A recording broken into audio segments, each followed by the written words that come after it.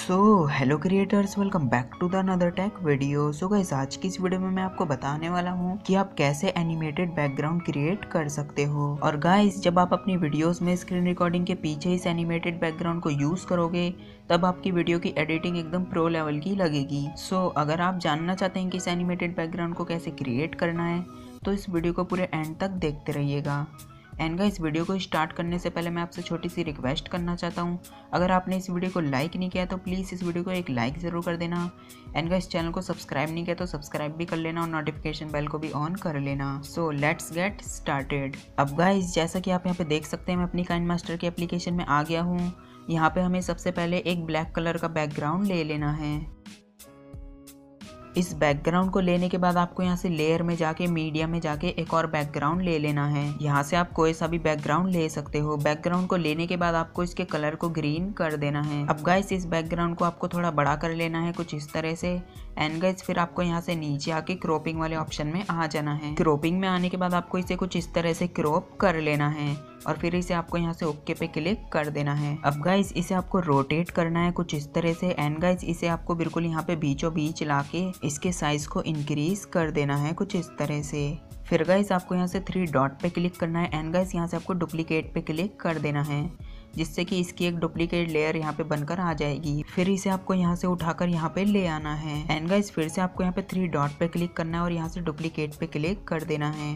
And guys फिर से आपको यहाँ पे सेम प्रोसेस करनी है। इसे उठा के आगे ले जाना है। और याद रहे, आपको इन सब के बीच का गैप एकदम सेम ही रखना है। और यही सेम प्रोसेस आपको लगातार करते रहना है, जब तक कि आपकी पूरी स्क्रीन फुलफिल नहीं हो जाती। इतना करने के बाद आपको यहाँ पे क्लिक करना है। एंड गाइज़ यहाँ से आपको कैप्चर एंड सेव पे क्लिक कर देना है, जिससे कि आपका ये स्क्रीनशॉट आपकी गैलरी में सेव हो जाएगा।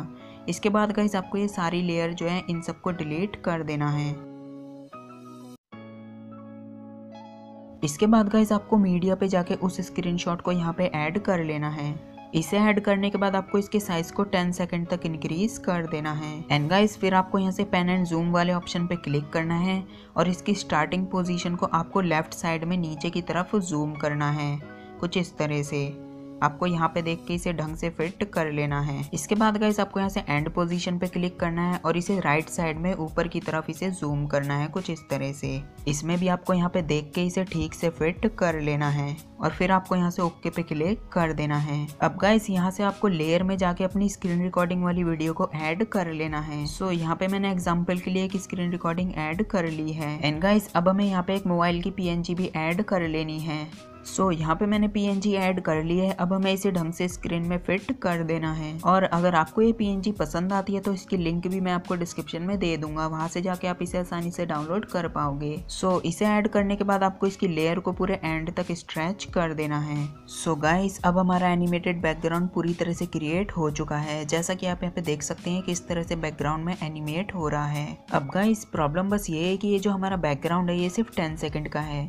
और सीधी सी बात है कि हमारी जो स्क्रीन रिकॉर्डिंग होगी वो टेन सेकेंड से ज़्यादा की होगी। सो so, ऐसी सिचुएशन में अगर आप इस बैकग्राउंड को इंक्रीज करोगे तो आपका ये जो बैकग्राउंड में एनिमेशन हो रहा है ये काफ़ी ज़्यादा स्लो हो जाएगा। तो इसका सॉल्यूशन बस ये है कि आपको यहाँ से थ्री डॉट पे क्लिक करके इसकी डुप्लीकेट लेयर को यहाँ पे ऐड कर लेना है। इसे ऐड करने के बाद आपको इसे ओके पे क्लिक करना है और इस पे क्लिक करके आपको यहाँ से आगे ले आना है और फिर आपको यहीं पे इसे छोड़ देना है जिससे कि ये पहले वाले बैकग्राउंड के आगे ऐड हो जाएगा।